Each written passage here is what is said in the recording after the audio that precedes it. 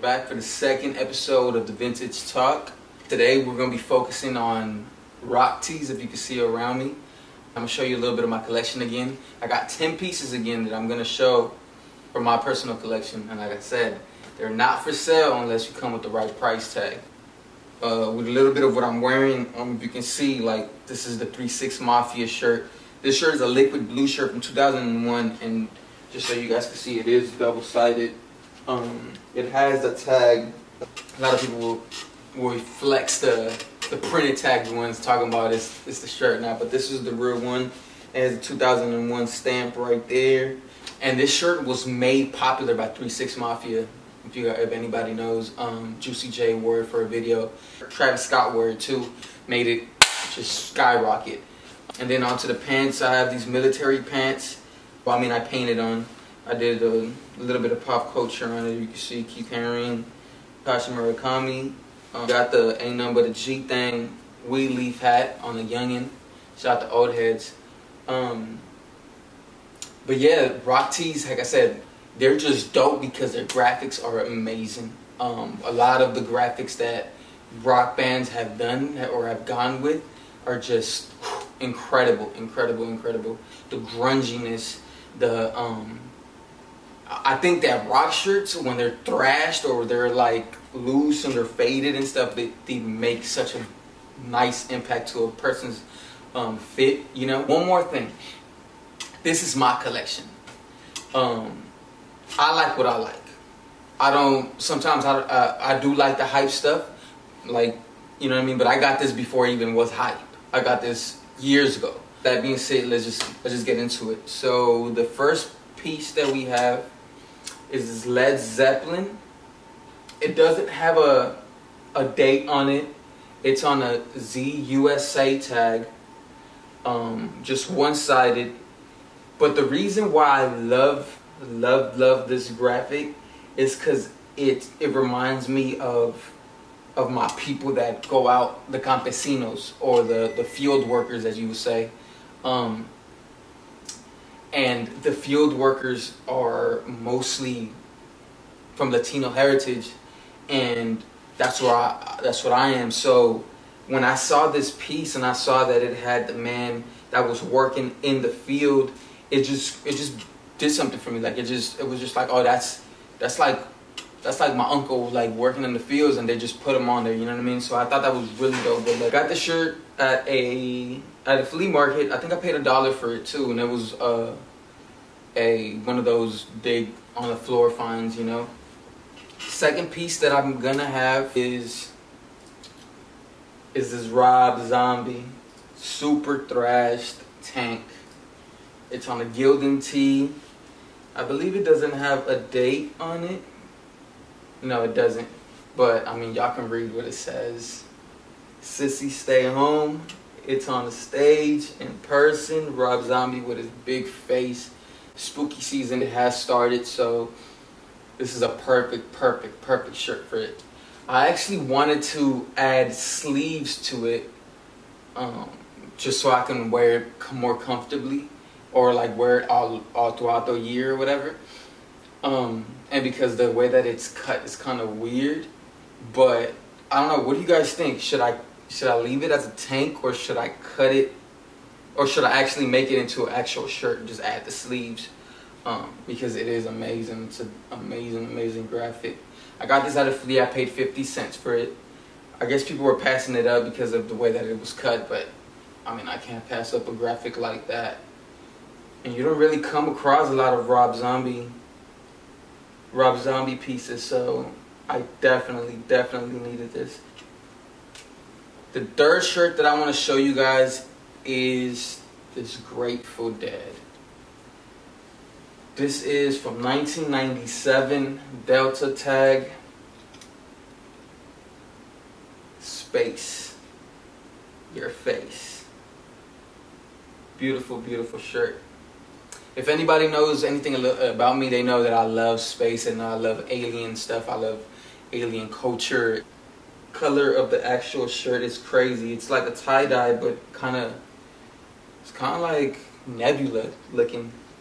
Yeah, the back is amazing with the spacecraft. This shirt I got at a flea market. I paid, I believe I paid a dollar for this. If not, it was two dollars. But yeah, um, I mean, you know how I do. the fourth shirt that we have is this Summer Sanitarium 2003 tour tee. I believe it has Metallica, Limp Bizkit, Linkin Park, Deftones, and Mudvayne. And they have them all in character form in the front. It says the inmates. It's kind of like a, like a crazy house. This is the back. It's on a Tennessee River T, 2003. I had this, I got the shirt at a flea market. I paid like four bucks for it. But I love, love, love this shirt. It just looks, it just has all the people in character form just dope. All the names. It's just a dope, dope piece. The next shirt that we have, um, it is the fifth shirt, is another Grateful Dead piece. Look at this piece. Fare the well. Fare thee well. This is 1995.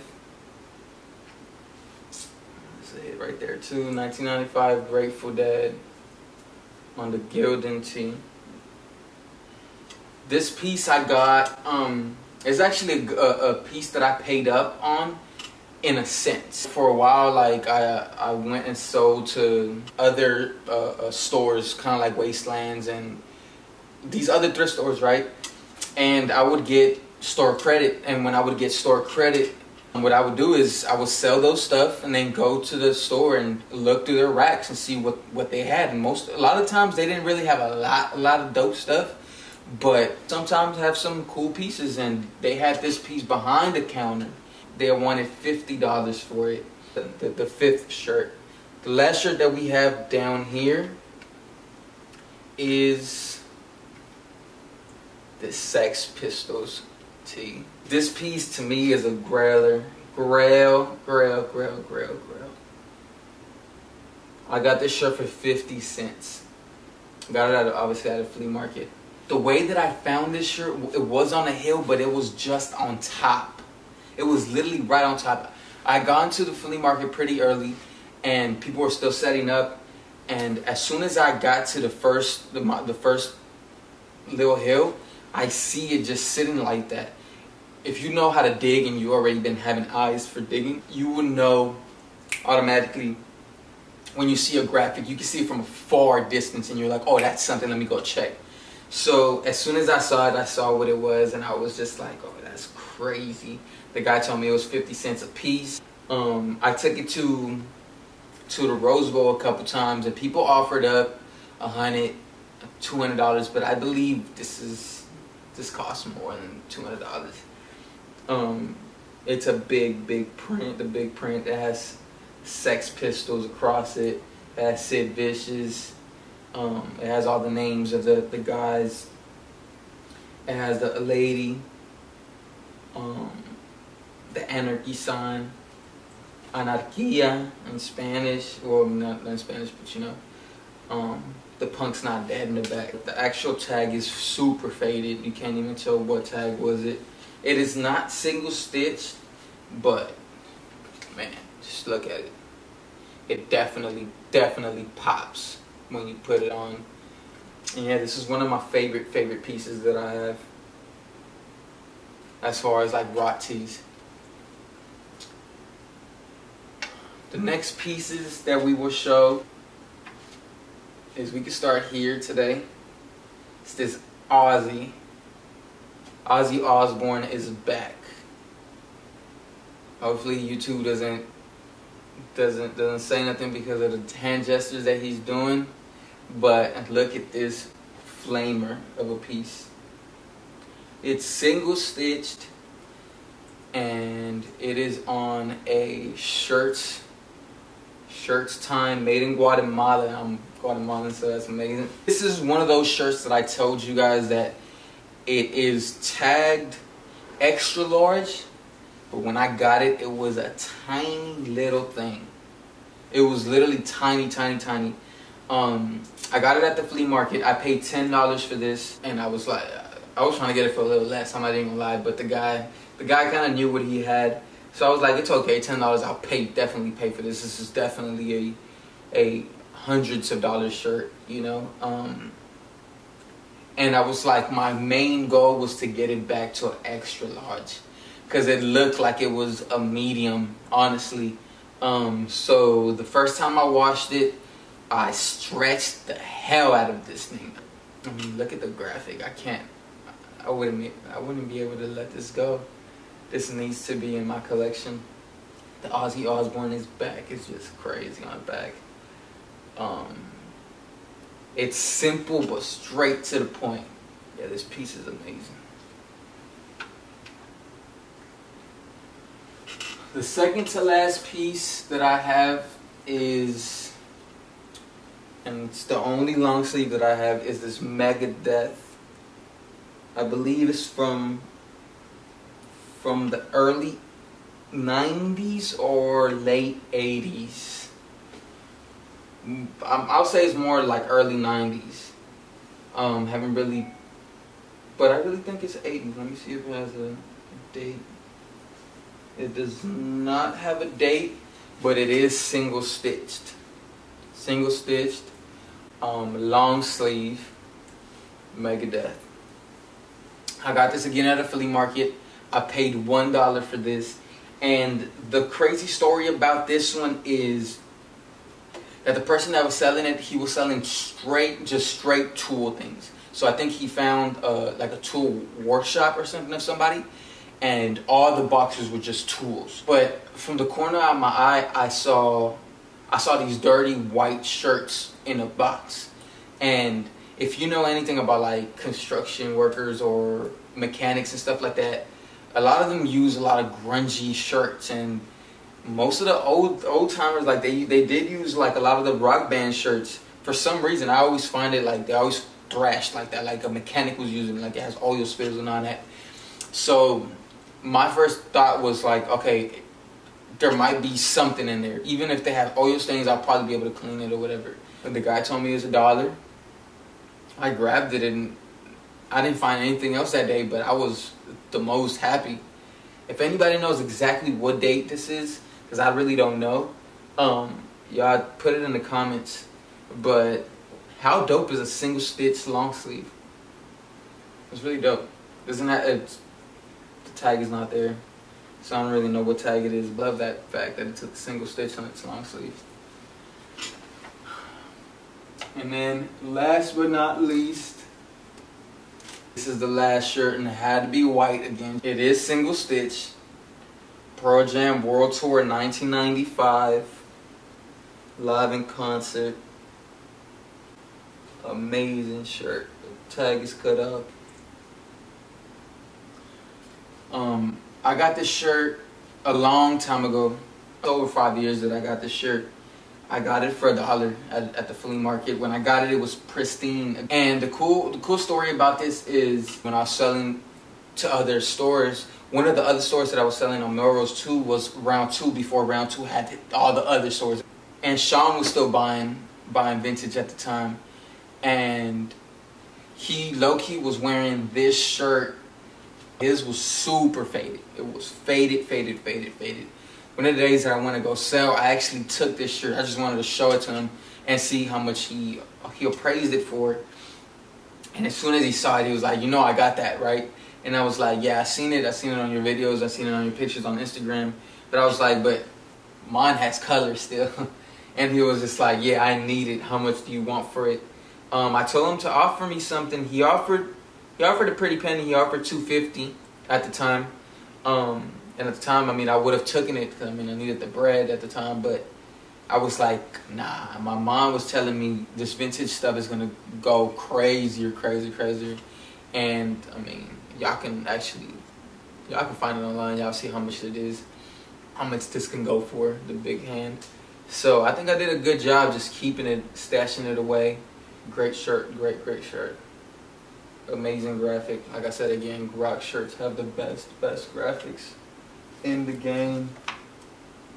Besides rap tees some rap tees are amazing. Um, so as I'm editing, I saw that I literally left out one shirt that was right here.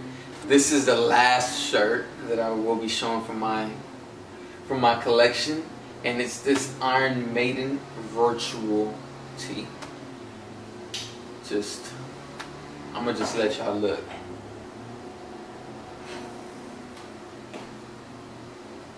Beautiful, beautiful tee. It's on that Resurrección tag, you know, the Mexican tags. They had all the great, great, great graphics from the early 90s. This tee, I paid $10 for it. I got it at a flea market as well. But yeah, I needed to throw this in because I was, I was literally like, let me show y'all. I was just doing the editing.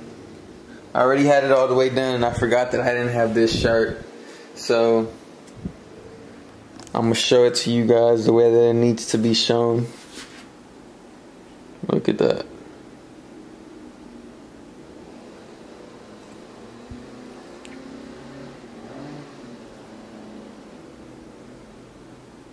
Fire. Yeah, that's that was my my little bit of a little bit of rock shirts that I have, or at least the first installment of the rock shirts for this vintage talk.